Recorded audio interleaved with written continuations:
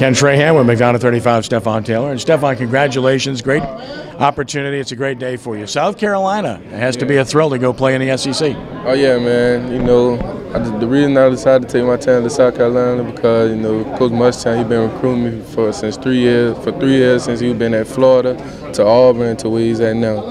Uh, and the staff that he also had, you know, they stand behind him, you know, ever since, you know, as in the player panel that I was in when I was up there, I asked the players how they adapt to the new coaching system, you know. And they said, man, new coaching system great, you know, that's all that they want, you know.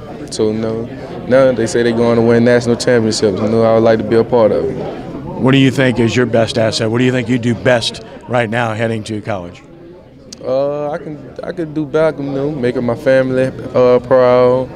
There's a lot of things that I can do, man, on field and off field. You know? In terms of your playing ability, you know, what's the, what's the best asset that you have? I mean, is it your strength? Is it your your quickness? Your, Going in now, you know, I have multiple aspects. I have strength, I have uh, quick step, you know, speed, and I, you know, I, SEC, you know, that's where I run at. You know, that's where I'm at. You're playing a really good league too, uh, playing for McDonogh 35.